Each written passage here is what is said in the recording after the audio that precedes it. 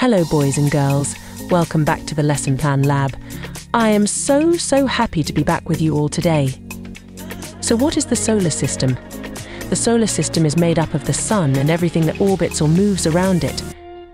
This includes the planets, moons, dwarf planets, and space rocks, comets, meteors, and asteroids.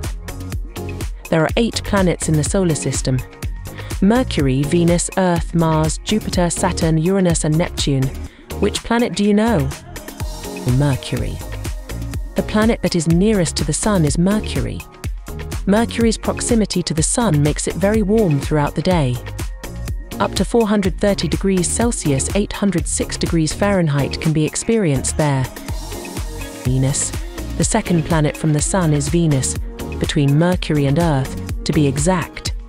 Venus is hotter during the day than Mercury despite being farther from the Sun.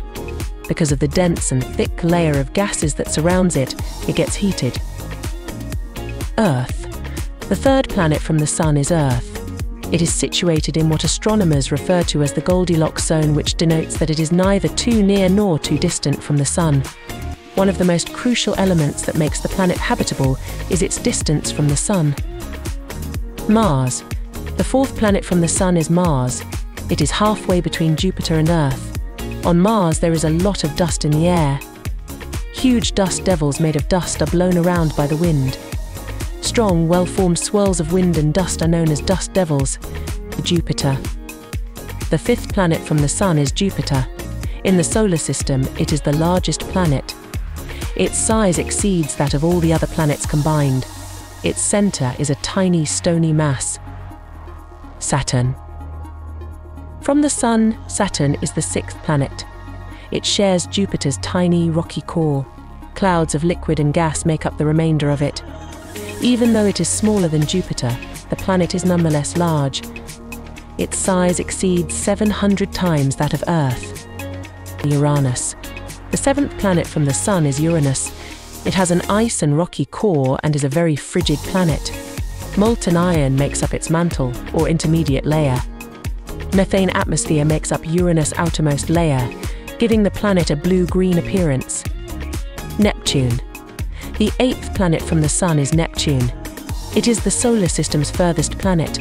Compared to Earth, it is around 30 times further from the Sun.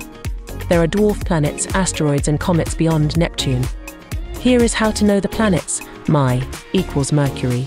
Very equals Venus. Educated equals Earth. Mother equals Mars. Just equals Jupiter. Served equals Saturn. OS equals Uranus. And noodles equals Neptune. Now let us do it together. My very educated mother. Just served us noodles. Always use this to help you remember the planets based on their distance from the Sun. Now, boys or girls, here are some questions for you to answer. Do your best.